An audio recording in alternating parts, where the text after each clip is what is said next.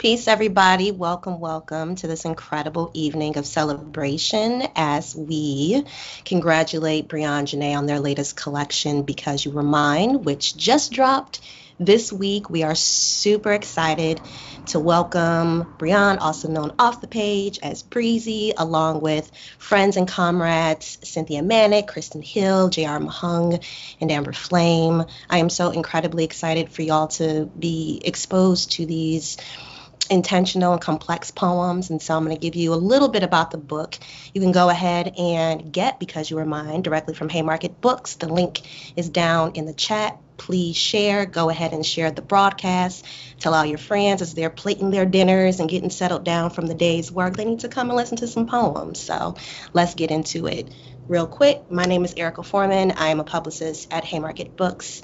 And again, it's my extreme pleasure and honor to host tonight's event and hear all these incredible poems.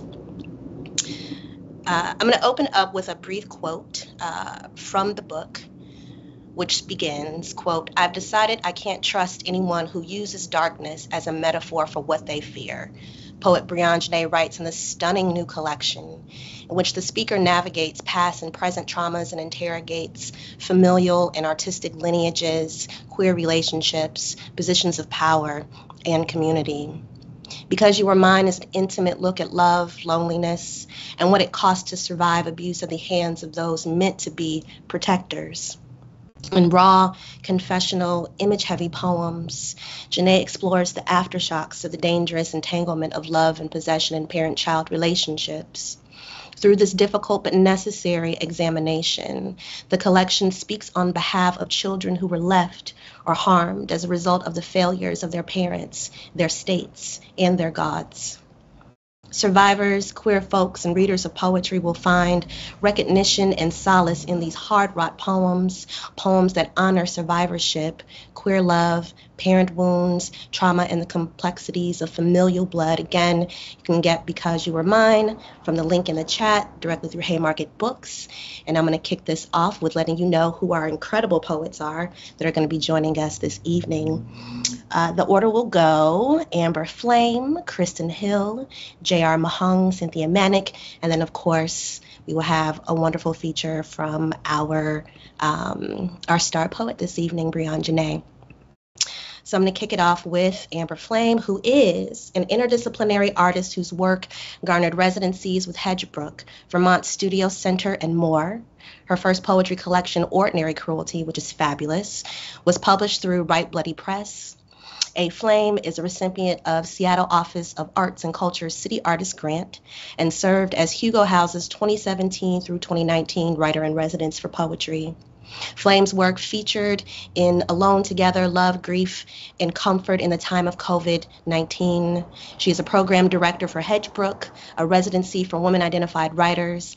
Amber Flame is a queer black dandy. Yes, come on, dandy, in Tacoma, Washington, who falls hard for a jumpsuit and some fresh kicks. Let's go. Let's get to these poems. Welcome to the stage, Amber Flame.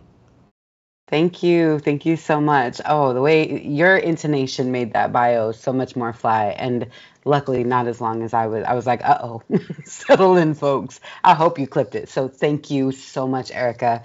Thank you, Breezy, for inviting me to celebrate you. I feel like half ownership of this book because I feel like we've been writing about our mamas together for a real long time now. Um, and I was trying to think of what I wanted to say besides get the book, get the book, get the book is um, it's a rare thing that you find yourself in writing company with somebody who has so many aligned, parallel, intersecting moments with you. Um, um, it's sort of like you know when you find that rare black therapist it's like exactly and you're like really? Okay really though? You know it's it's it's a very special thing to get to right beside you. Um, you make me so much smarter breezy. You're so fucking genius and i am honored to know you. I'm honored to be called your friend and your comrade and your accomplice in this world. Um, so woo woo i brought you some mom poems. What's up? You've heard them in the early stages and here they are finished. Um, i'm reading from new shit uh, in honor of breezy we grieve different people when we say mother. Road trips always began in the back seat in the late afternoon, the lull of the road carving a straight line between Arizona and Texas. I'd wake from my heat nap hours in, sticky and sweat slicked between my sisters as my mother rolled down her window to the copper gust of cooling desert. Headlights cutting a monotonous white tunnel in the gathering dark, my head tilted back against the seat, I watched the stars multiply exponentially as night fell. By the time she called for me to climb up front, there were no more constellations I knew by name. Her eyes were bleary and red, and she had played all the tapes with music to sing along to. There was always how I learned of the men who hurt her the worst. The ghosts haunting my mother litter the highway like Texas spring roadkill, gruesome. I never learned how to look away, each entrail in violent detail flashing quicker than mile markers in our bubble of light and secrets, my mother and I hurtling through the night.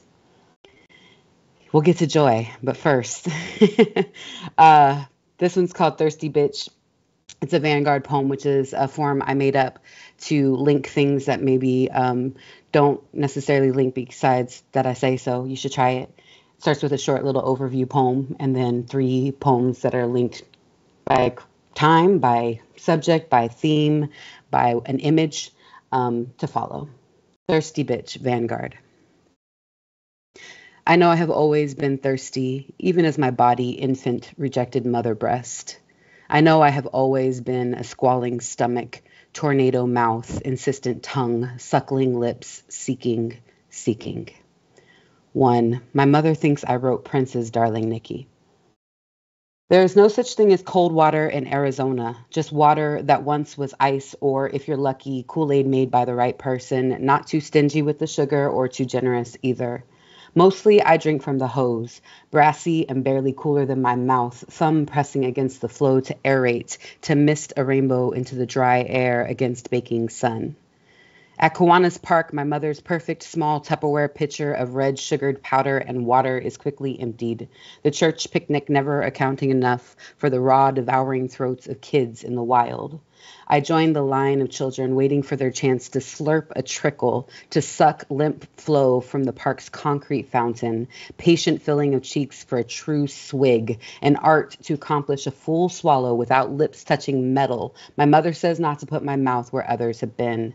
I stay gulping, unsatiated, until my name becomes a chorus of complaints by the time the Lord, number two, by the time the Lord cures my allergy to milk, I am too old to breastfeed.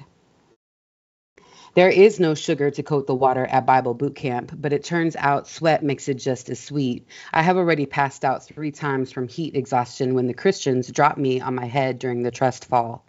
I worry the whole ambulance da- ride down the dirt road out of the forest of Flagstaff, Arizona. How much it will cost my mother to pay for this out of pocket. I don't ask for water. They find several small pebbles lodged under the skin of my scalp, and someone decides I'm fine if a little dehydrated. Back at camp, I'm allowed to drink two extra cups of the saccharine toothache Kool Aid they save for the drill instructors. I don't know who called, but they tell me my mother wants me to finish out the week. Three, we stop for snacks in El Paso, Texas at 1:30 a.m.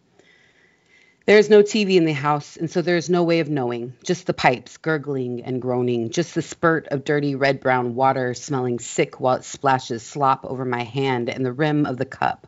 I remember how my mother smacked it away from my lips like poison, and I went to bed thirsty. It's midweek before her check hit, all the stores full of emptied shelves, so my mother filled the gas tank instead. A road trip on a school night, searching Oasis, a drive so long the outside grew green. I remember how cold and clear and sweet the water seemed to my supplicant tongue, this body a sprawling desert. Okay, let's move on towards joy a little bit, a little bit, a little bit. When I tell you I used to roller skate, do not picture the occasional special treat to Skateland, wheel grease and thin carpet, shoe spray and old hot dogs. Do not think dim rotating lights and couple skate, reverse skate, the hokey pokey, although I mean those times too. When I say I used to roller skate, picture my mother in the living room, on the couch, facing the big window, watching as I whipped around the corner, piston thighs propelling me over broken cement straight toward her. Imagine her growing horror as I approached too fast to do anything but meet my eyes through the glass between us, fingers clenched in anxious fists as I flew, leaping last second up the step to swerve and slam my small body to a stop against the front door. When I say I used to roller skate, I mean I wore them like shoes. Fearless knees bloody when I got up, and I always get up, suck the gravel from scraped palms, and roll the fuck on. And I'll end with the last time I cracked my mother up, I was drunk. Slick with quick quips and dramatic interpretive dance to Katy Perry's Firework till she held her hand up, palm out, winded and wheezing. When she caught her breath, she said, This is why I don't drink anymore. I'd piss myself, and watched me out the corner of her eye. I didn't fathom then the inevitable curl and ache, how we clench harder to hold our pee. I imagine I understand now. Wonder what she would have told me about pain, about how hard it is staying alive if she'd survived it. Sometimes I imagine us old together, the bare 24 years between us, no more than a blink of now and last week, sharing the surprise of a decline, a body waking up to a new way to break and still somehow go. I imagine plotting easy. Thank you, thank you for having me. Y'all, give it up one more time for Amber Flame. Those poems were incredible. The range, the valency, the heart. Ugh, just love, love, love. Always hearing your work. Thank you so much for blessing the space and salting the ground so that we can welcome the rest of these beautiful poems. Next up, we have Kristen Hill, who I'm a fan of the poems and have not yet heard Kristen read them aloud. So this is also selfishly a little treat for myself. Uh, so I'm deeply looking forward to it. A little bit about Kristen Hill, who is the author of How Her Spirit Got Out from Aforementioned Productions, which was published in 2016. It also received the 2017 Jean Pedrick Chapbook Prize.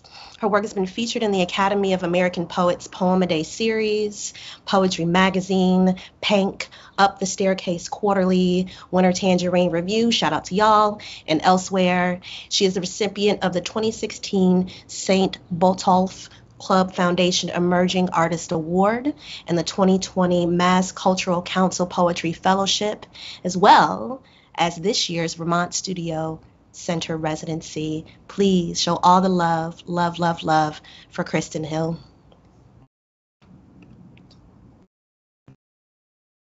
I am so happy to be here and thank you for that really beautiful introduction. Um, Amber, your poems are beautiful. I mean, you know, um, that just is a given, but I just really thank you. And some ground is important um, especially when we're reading difficult pieces. Uh, and Breezy, oh my gosh, thank you for always welcoming me genuinely into your orbit and just always just bringing this genuine sense of like truth and just risking the truth um, when you read. Um, I just, there's so much love for you. Um, and I just can't say that. And look, my voice is trembling. Um, I just can't say that enough, and I'm just happy. I'm just overjoyed uh, to celebrate this book. Like genuinely, my love for you. Like just, I hope it, it comes through this this limited space. um, so um, I'm in a tender place, y'all.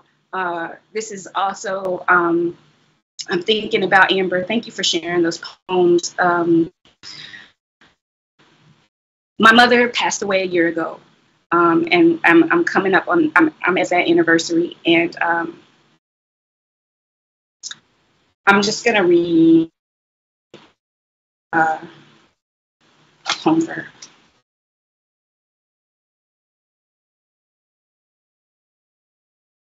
Forgive what remains when a dress is empty Forgive it in a red dress.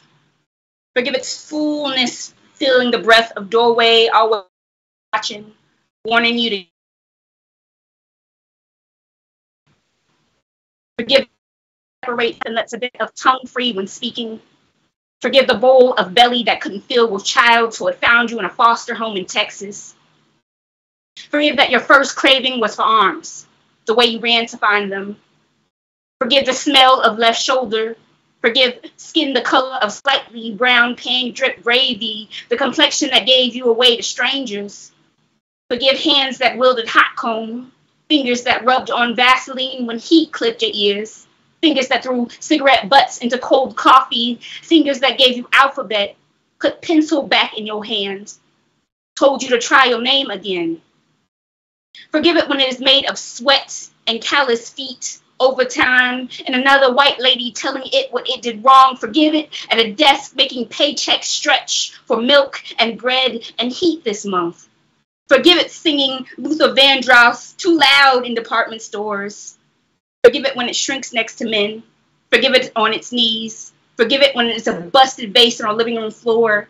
Forgive that it's connected to mandible, to clavicle, to ribs, connected to all things that break if hit hard enough. Forgive that it is often mistaken for something to be kept waiting. Forgive that you are always walking into the room of it, that you fill it with dreaming with words.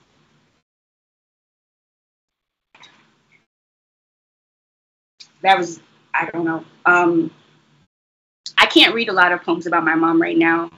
Um, it just hurts uh, but just the celebration of her is also important, um, and it, was so com- it's complicated. Um, and so I want to honor that complexity um, and honor the poems that are going to come through too from Breezy. That just complicated love. Um, it's a real thing.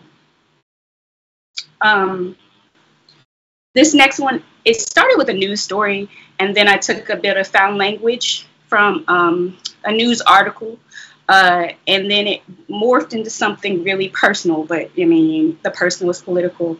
Um, and uh, I was really shocked by how the poem turned. Are we still good? This week, Trump's bloated name drawn onto the side of an endangered manatee. According to officials, the, enemy, the animal does not appear to be seriously injured. Someone adds in the comments that obviously it was a joke. Calm down, liberals. Highlights the part of the article where a president's name was scraped onto the algae growing onto its skin. From what they could see, nothing was truly threatened. The sea cow was probably too dumb and fat to feel anything. I think of all the ways cruel begins as a joke until it chooses to finish what it started. The friend I'd known for years didn't stop when I asked and asked again. I thought maybe he didn't hear me. Later, he told our mutual friends that things just got out of hand. I thought she knew I was just playing. I remember when I was sure he heard me. I recognized it was my fear that made him smile so loud. Still, I attempt to explain the surprise, and he said I didn't die there. I tell myself, even here, I wrote that as the first line of this poem and buried it. Anyways, he had work in the morning, offered to drive me home. I didn't have to walk back to my dorm in the snow. I laughed at everything he said on the way and tried not to let him see my hand shake when I took the gum he offered me. He asked, Are we still good? I chewed my tongue, relieved I could do something with my mouth until he parked unlocked the door to let me out. I thanked him. I was so I didn't run.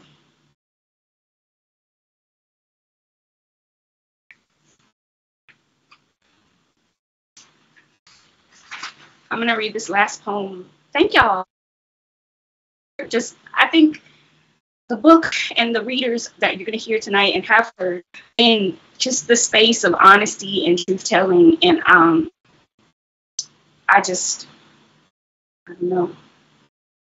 Um, this last poem, you'll see like little bits of found language. Um, um, and uh, it's about the relationship I'm having with my neighbor. Um, and I just before I I, I just want to thank y'all again for having me, and also just I'm just so happy to celebrate this book. A white neighbor says I owe her. A white neighbor says I owe her a civil conversation. Not even my landlord, y'all. A neighbor who lives in the triple decker. She says she can smell me every time I open my door. I'm hard to approach. She prefers to discuss things with my partner who is reasonable, polite, white. She's never had a problem with anyone. My trauma asks what's wrong with me. Raised differently, she guesses aloud. Faulknerian, my impression fills a room in her, a spot on her floor. We, she says, are oil and water. I wonder which one she intends me to be. I alert her allergies. She clutches her chest and coughs. My essential oils leak into the wood in her hallway. I wear dabs of lavender on my wrist to smell myself calm on two buses, two trains, back and forth every day. She called the police on neighbors for parking. What could she do to me? Have you ever seen a black woman ask to be left alone? Sometimes it's not an ask.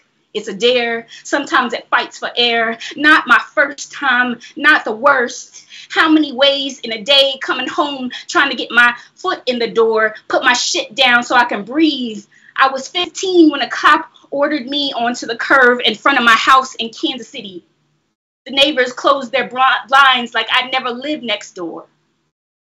Even when I, if I told her this, she probably asked, "What's what does this have to do with me?" They are related. The cop asking me to empty my pockets, the white woman asking me for another thing before I can get my key in the door, greedy cousins that live close enough to drain me. My mama laughed at the absurdity of white folks when they hurt her too much. That's what happens next in the hallway, hallway outside of her door when she says she wants to keep the peace. It's a joke that cuts me open, so I laugh.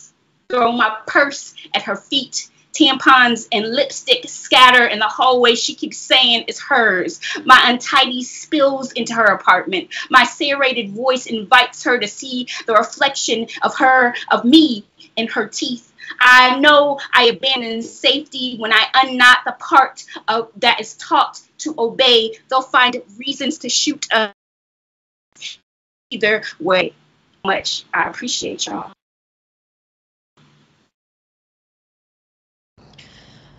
Whew.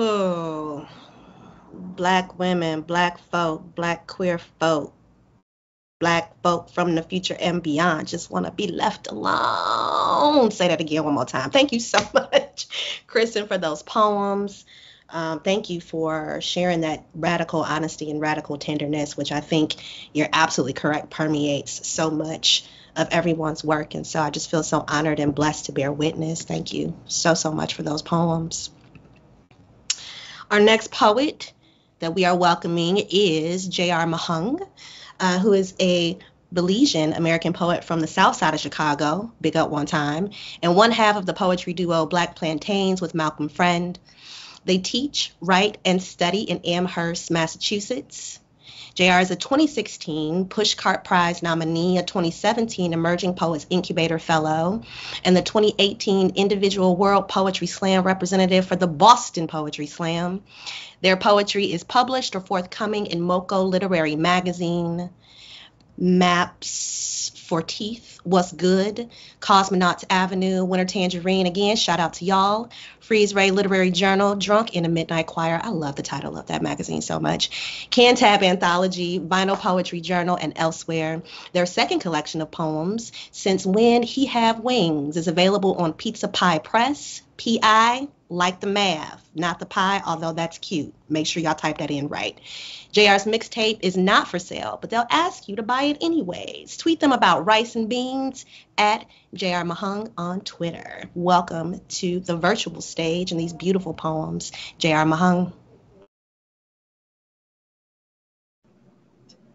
Hi, um, my name is JR, which you can see because it's Skype, but I'm awkward. So, uh, yeah, I'm really happy to be here. Thank you, Breezy, for having me here and um, for allowing me to read alongside so many of these like really lovely folks and poets. Um, yeah, the other day, uh, Breezy and I were talking and realized like we've never read together. We've been homies for like the past six, seven years and never did a reading together. And I'm like really grateful that this gets to be our very first.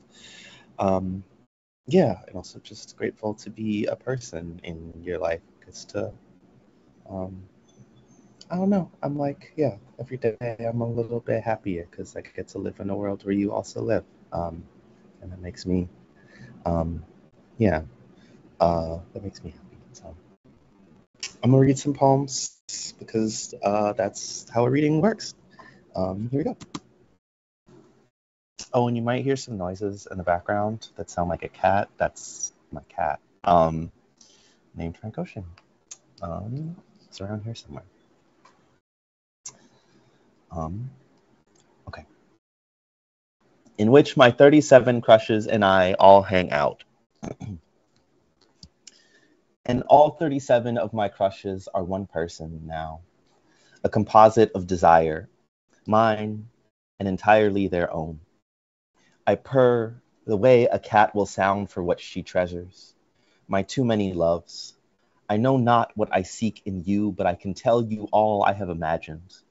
There's a space in the world, this one or another, where I cut rind from citrus and you say you want mint without sugar, which I leave on the counter to steep, and I join you on a couch which could be ours or yours or mine or someone else's, but no matter. Because you have robots on the TV screen, and I joke that my pussy is a God box. And maybe you laugh, or don't. Or maybe, maybe I'm not joking. And you know, fiction is an impossible space until rendered. Once, I asked a high school crush out to mini golf, and we never went. Once, I caught the scent of a boy so sweet I could have kissed him right there in front of anybody. Once I wondered, could you love me? And listened close for an echo, a prayer, anything.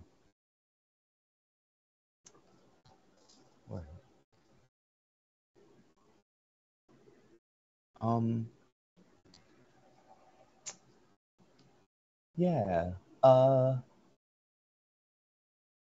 Breezy, you and I feel like we started a gender transition around the same time, uh, and like had a very like a few different, um, yeah, a few different like things within that align pretty closely, which was uh, a kind of cool thing. Um, uh, shout out to having a twin. Um, and uh, I feel like a lot of these poems are poems that uh, a lot of these, all three of these poems are poems that I think um, through that, yeah, through that time. Um, are like thoughts, ideas, and sets of feelings that opened up because of, um, yeah, because of the conversations and the way that you held and opened up space. So grateful to you um, for allowing these poems to live. And also, at any point you're like, that's a weird poem, I'm sorry. I, you know, maybe you're a better friend than I'm a poet. I don't know.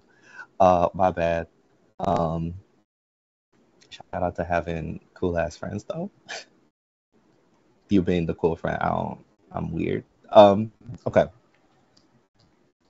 I'm screaming from the edge of the world with so much more to give.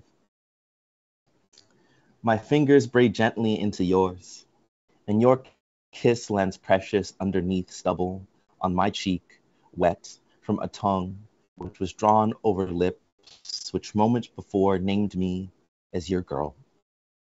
A girl, belonging in this place in this world, you don't love my cooking, but you like that I love to cook for you. I'm learning how. Broccolini pasta, no cheese, spaghetti and slow stewed pomodoro, potatoes roasted salty and crisp, and yes, yes, I am glad, uh, and yes, yes, I am glad to be alive, and alive here with you, where I take out my phone in quick remembrance to say, look, a cat. Did you know a slow blink can mean I love you? And dysphoria is a word that can shred a body apart. Blink, and I love you. Again, I am a ghost. Blink, I love you. Again, I'm drifting away. Blink, and I love you. Again, I'm falling apart. Blink. I love you. Again.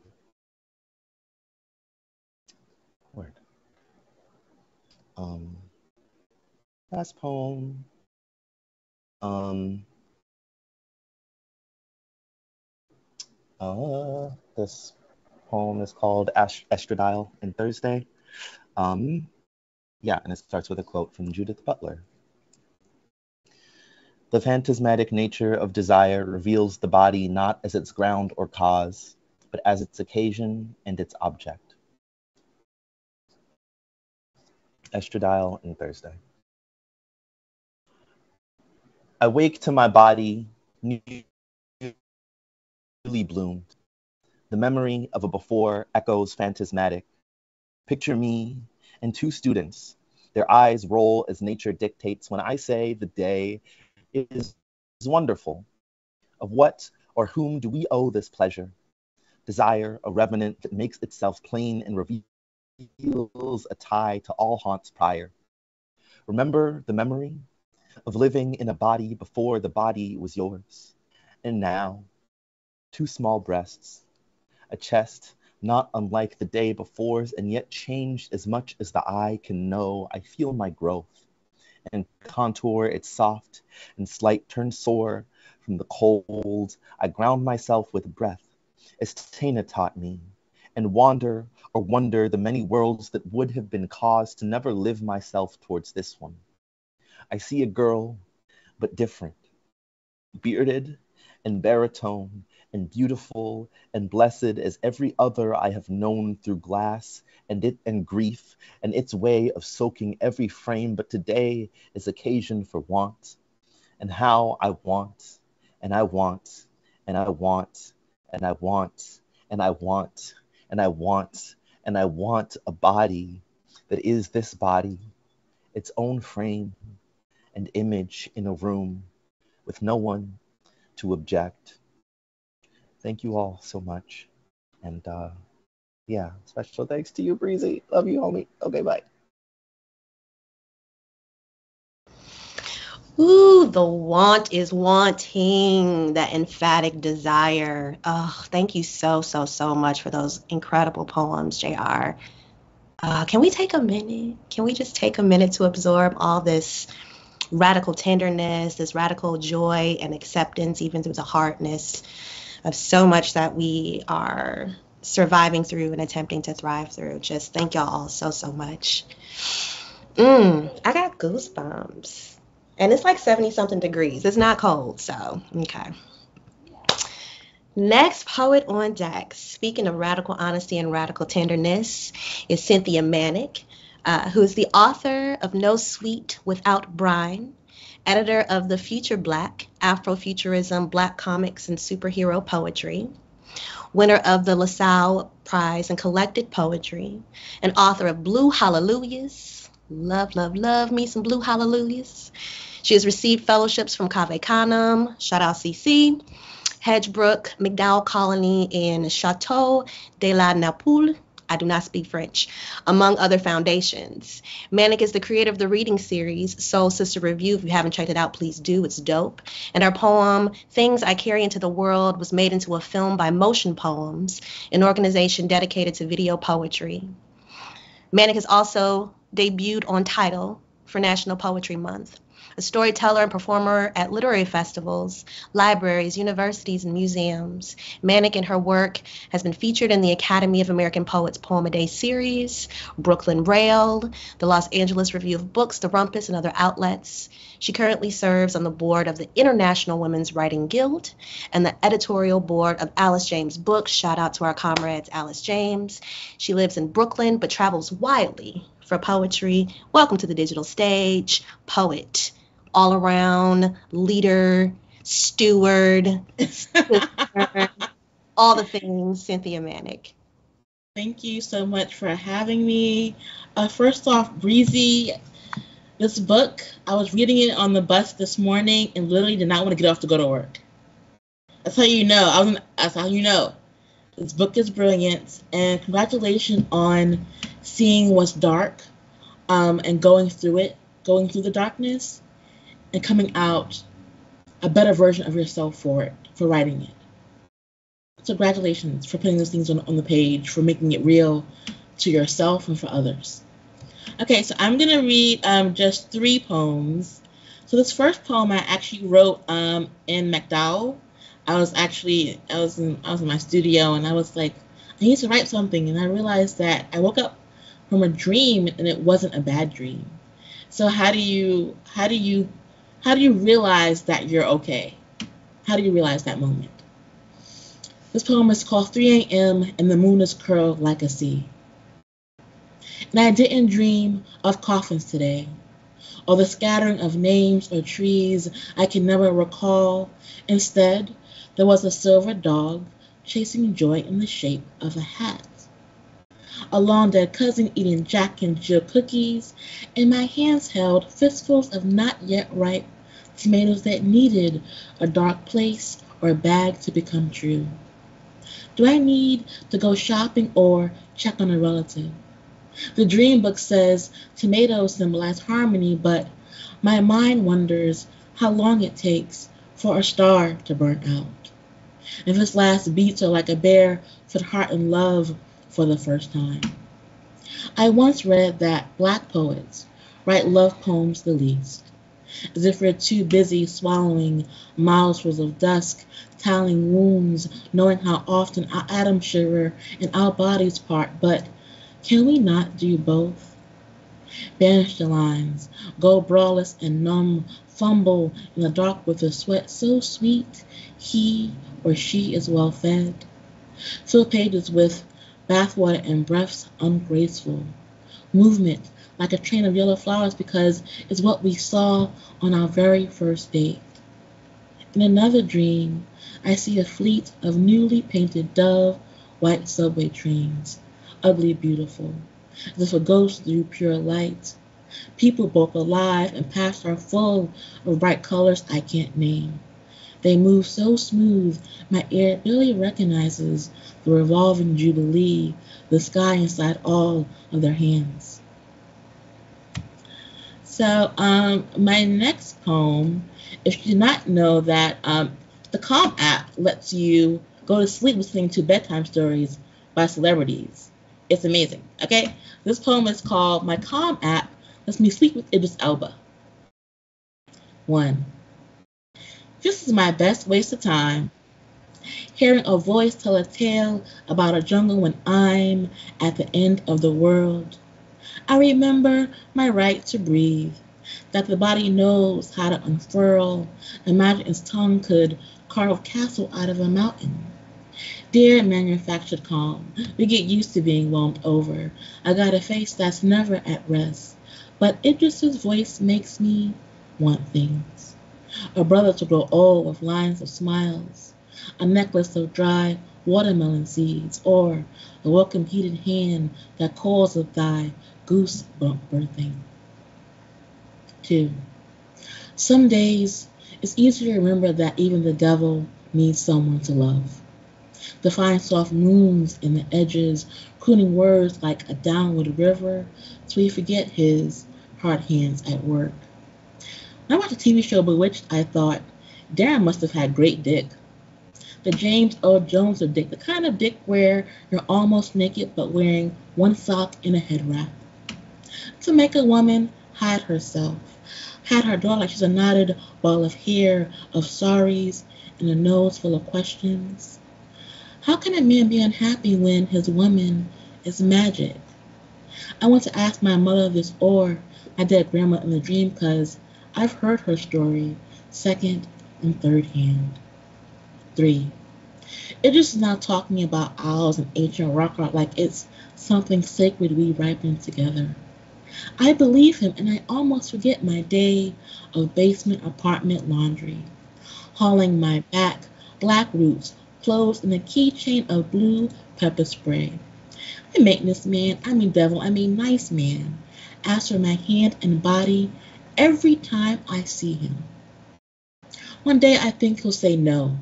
To my no thank you, he'll want to break something. He'll want to sing to something that's broken, pry it without a key.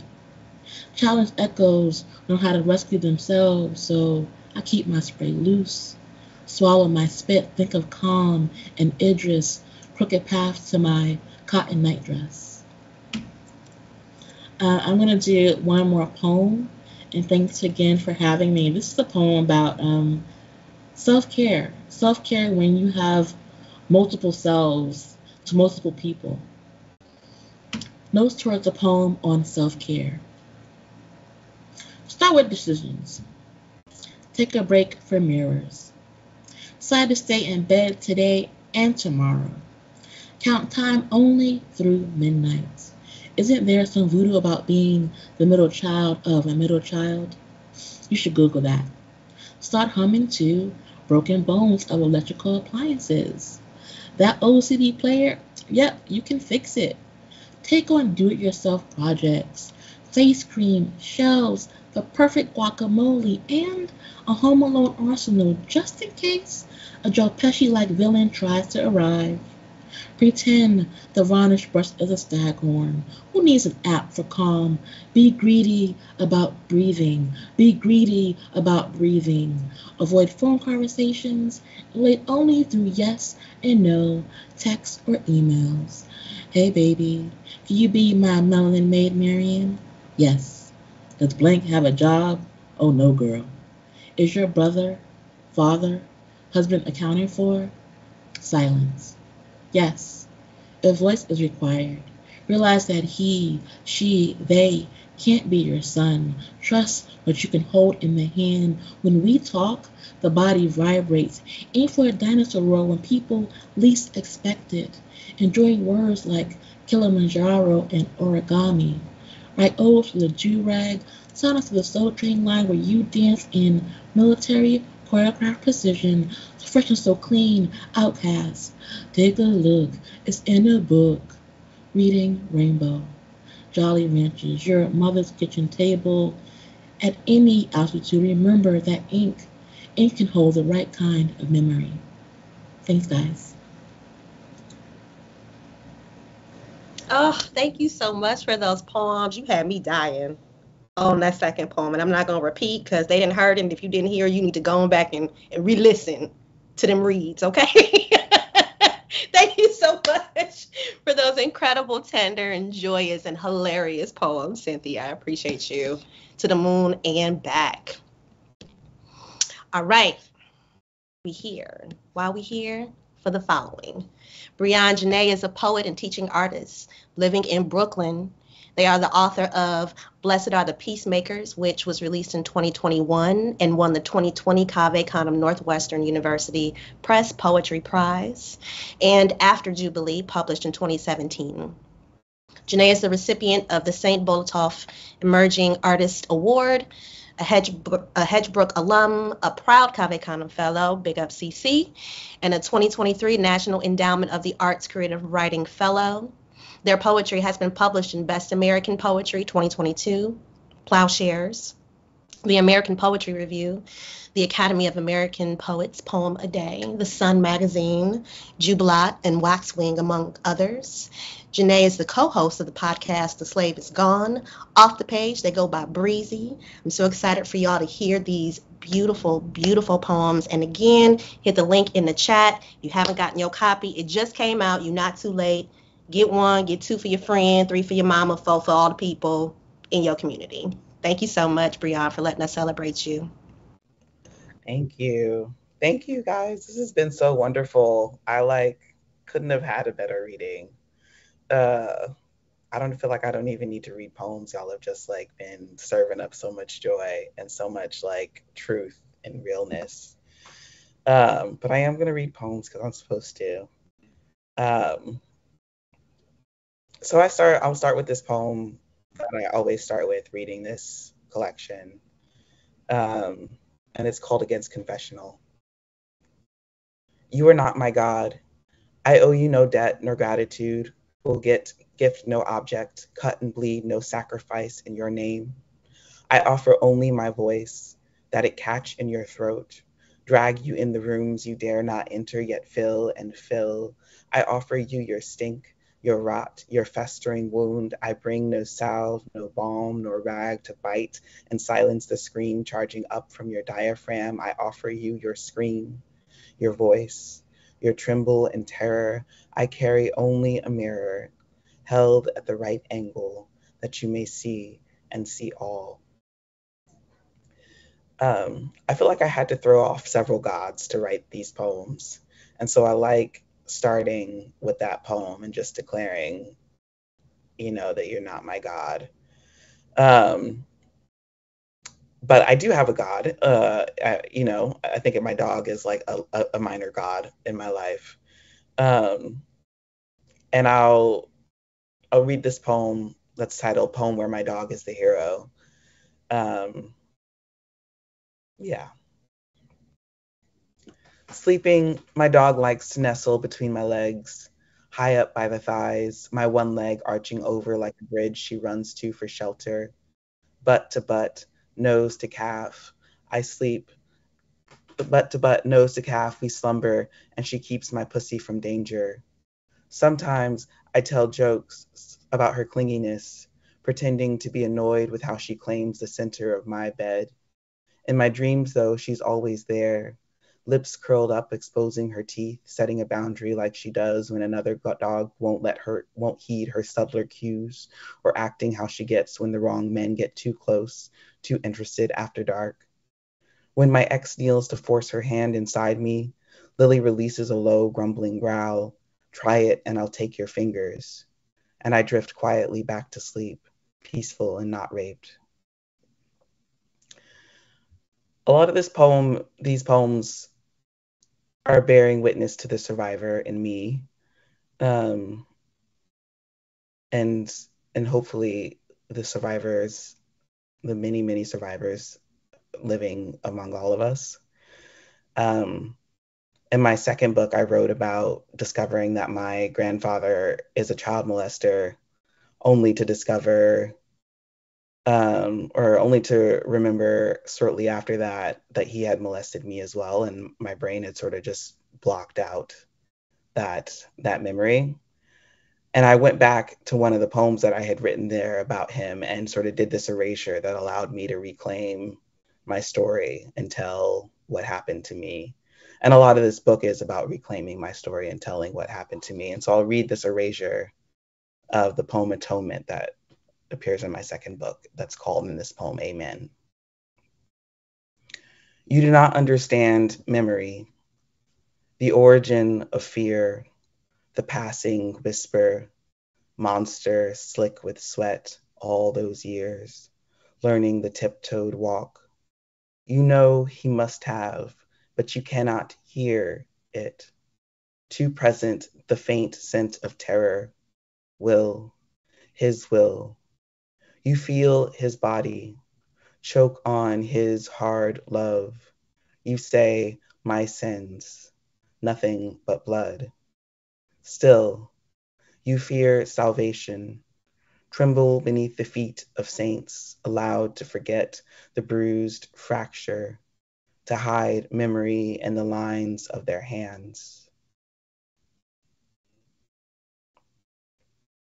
The next poem is called When Spite is the Only Thing That Feeds You. Bite down and break the skin against your teeth. Chew. Take full possession of your mouth. Let it hang open or purse the lips tight as a zipper so not a morsel slips loose. Stay present. And if the past comes knocking, your grandfather's hands popping up all over your body, bite down again, harder. Use all of your teeth, the canines, the incisors. Grind the flesh down between your molars until it's a mushy lump at your throat. Swallow, swallow again. Keep what you can down and what you can't spit into the air. Be a child again. Wipe the grease from your lips like blood and rub the residue into your jeans. Laugh let it be hysterical. Um, I appreciated that folks read, you know, that that Kristen, you read some of your hard poems, um, and sort of laid the ground for that. Um, and Flame, you read some of your mama poems. A lot of this book is hard mama poems or complicated mama poems, because um, love love of our mothers is is often complicated, though we off, are often discouraged from talking about that. Um, and so I'm going to read some of my my mother my mother poems. Say it wasn't my fault you suffered. after Toi Derricotte. Head anchored between your hip bones, nudging the cervix from the inside.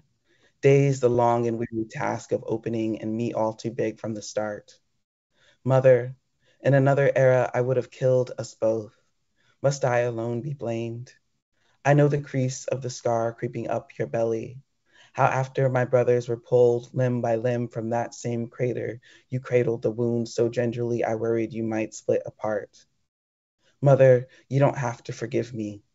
I know what it's like to refuse and still be opened. Nothing more isolating than a body. Acutely, the lines come down around us, we each trapped in our own peculiar cells, unknowable one to the other. We spend all our lives learning to read the pinch and crinkle of the skin, the limbs gesture, heads every particular angle we might as well be as divining stars. Even without gods, we bed manna and milk to be told where to go, what to do, and how to bear the yoke of our bewilderment. Please, mother, we say, tell me what you mean. Um, this next love poem is one of my favorite that I wrote for my mom, just because it it centers around what I'm supposed to do with her hair as she ages, because that's always the question. What are you going to do with my hair? You're just going to lock it up. You're just going to cut it off.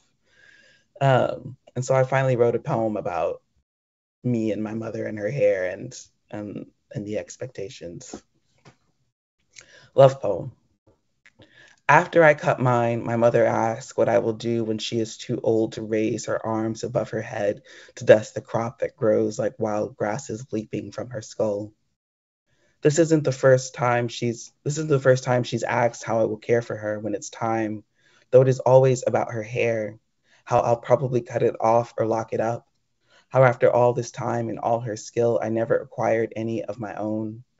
Then I like to say I will take care take her to the hair salon, as if I don't know she is asking how much and how well I love her. Sometimes I say she better start teaching the grandkids how to warm a hot plate and part the hair evenly at the root. Some days, though, I can already see my gloved hands slippery with dye and all that stubborn gray at the base. I'll pull the wide tooth comb slowly through her hair, through the length of her hair. It will almost be enough. Dear mother, I'm angry. Dear mother, I hold my anger like a grappling hook. Dear mother, my anger wears me like a glove. Dear mother, wait for me. Dear mother, I worry my anger will outlast me. Dear mother, I am gripping my anger by the throat like a strangled hen. Dear mother, I have strangled my anger. Dear mother, do you know what it takes to strangle? Dear mother, I have buried my anger on the side of the road like an accident victim. Dear mother, nothing rises with the dead like anger. Dear mother, sometimes the anger flows through me like the breath of life. Dear mother, no matter what I do, all I breathe is fire. Dear mother, it burns. Dear mother, I have found the fire extinguisher and hit my anger over the head with it. Dear mother, I fear sometimes the anger is madness. Dear mother, my anger is still here nestled beside me like a stray dog. So, somewhere in the course of writing all these poems, um, I felt like I was doing a reshuffling of my priorities and a reshuffling of um,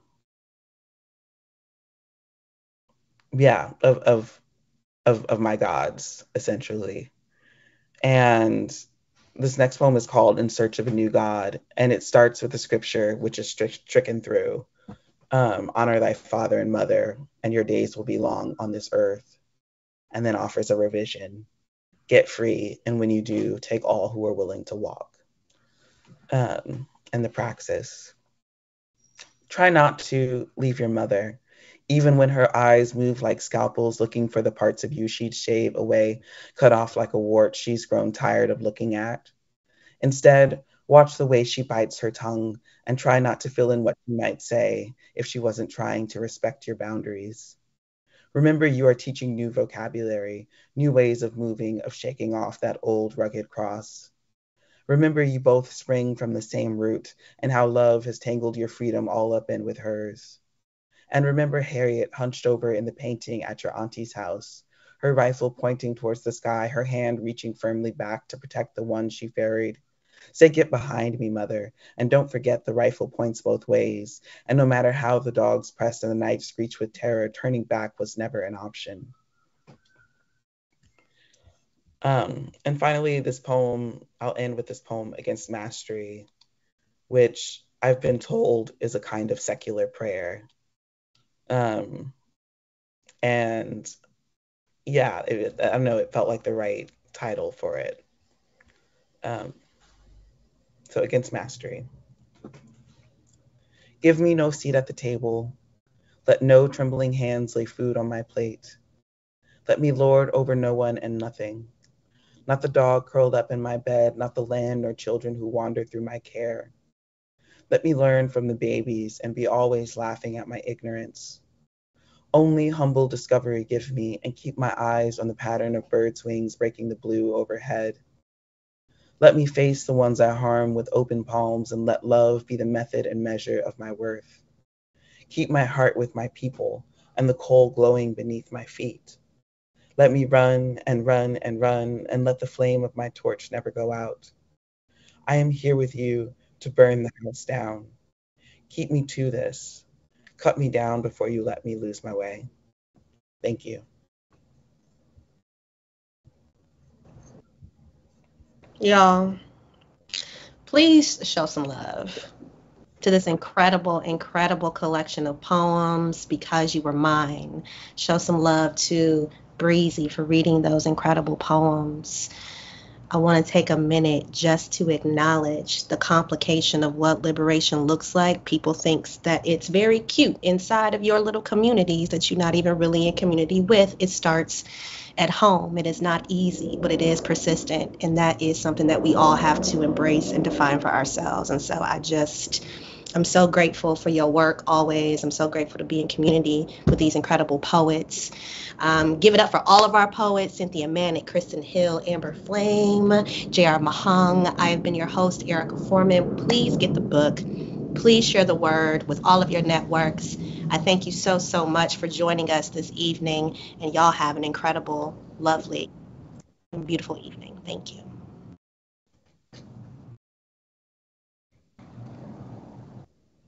Thank you.